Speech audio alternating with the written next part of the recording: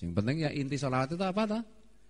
Bukti, eh, kita memohonkan rahmat, kita memohonkan anugerah kepada Allah untuk Rasulullah. Kita mengucapkan salam, kita memohonkan keselamatan untuk Rasulullah. Itulah sholawat. Kita rindu Rasulullah, itulah sholawat. Kita mencintai Rasulullah, itulah sholawat.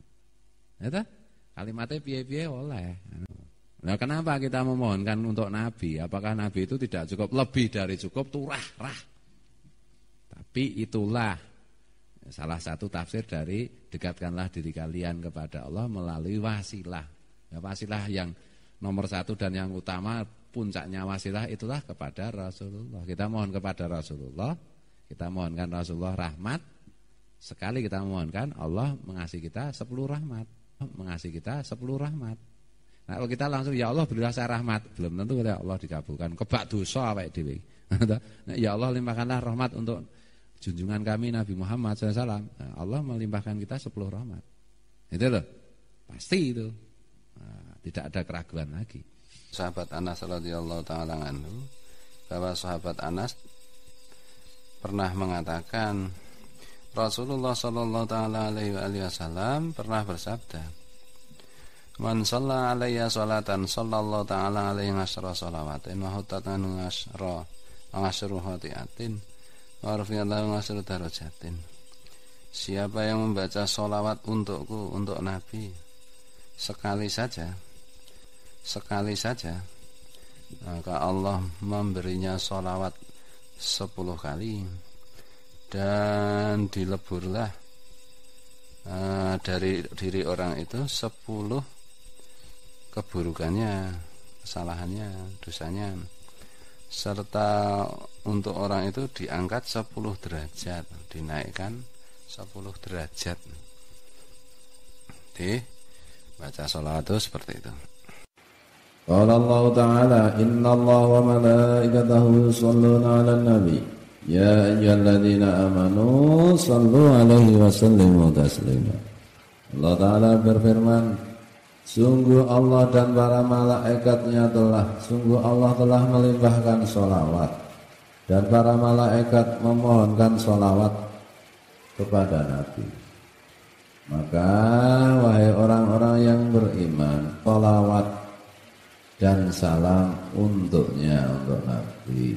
Maka cukuplah untukmu Atas apa yang telah dinas Atas apa yang telah ditetapkan Allah di dalam ayat ini ayat tadi untuk memuliakan nabinya Nabi Rasulullah SAW dan mengagungkan. Nah, nah itu kan sebenarnya salah satu pemaknaannya.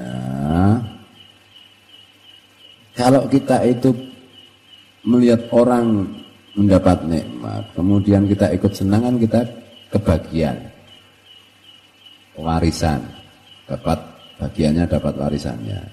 Ya kan tidak ada nikmat yang lebih agung yang diberikan Allah kepada seluruh ciptaannya selain yang diberikan Allah kepada Rasulullah. Nah kita disuruh mengapresiasi, gitu.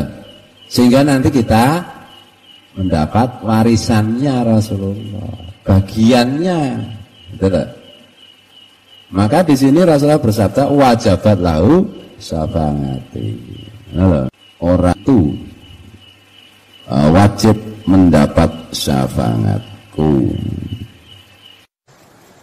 Tapi jangan salah paham ya, kita membaca sholat Nabi itu sebenarnya kita tidak sedikit pun tidak berjasa kepada Nabi. Aku zaman cilik ini kadang-kadang mikir ini enak banget jadi Nabi undangnya dibaca ke sholawatan itu.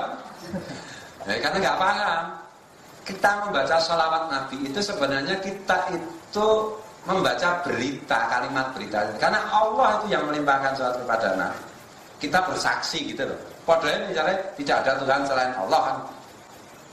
Bukan berarti kalau kita tidak bilang tidak ada Tuhan selain Allah, bukan berarti tidak ada Allah. Kan Allah tetap ada. Dan Allah satu-satunya Tuhan. Kita mau membaca apa enggak kan tetap aja sama aja. Tidak mengubah apa Begitu juga kita membaca salat kepada Nabi. Kita ini mau bersaksi. Kalau kita ikut bersaksi bahwa Tuhan itu melimpahkan salat kepada Nabi, dan dari Nabi itu split ke seluruh makhluk Tuhan. Sebagian di dunia, di dunia semua ada bagian, di akhirat wakila akhirat, wakila sebagian dapat, sebagian tidak. Nanti kan tafsir Bismillahirrahmanirrahim itu lari. Kita bersaksi maka kita dapat bagian. Podo enek misalnya Mas Tunggul jual beli mobil sama Mas Faiz itu. Aku melu neng kono kan aku dapat uang denger kan. Aku rata kok kan tetep ini terjadi. Jelas aku teko, aku itu uang denger. Ya? Mas Endi rata kok, akhirnya itu uang denger kan itu kan. Allah menimpakan sholat pada Nabi. Kan itu kan. Allah menimpakan sholat pada Nabi. Kita ikut bersaksi, kita hadir berarti itu uang dengar kan, kan? Sing ora gelem maca, ayo uang dengar padha karo ra teko gitu. Ya kira-kira kayak begitu. Kita praktekkan misalnya, ya Allah limpahkan salat kepada Nabi Muhammad. Itu kan sudah. Inna Allah wa malaikat yusalluna ala nabi kan sudah tak itu? Wa anzilhu maka tal muqarrab indah yaumil qiyamah. Dan tempatkanlah beliau di pada kedudukan di sisimu itu kedudukan yang dekat di hari kiamat. Itu kan pasti itu. Sudah dipastikan Allah.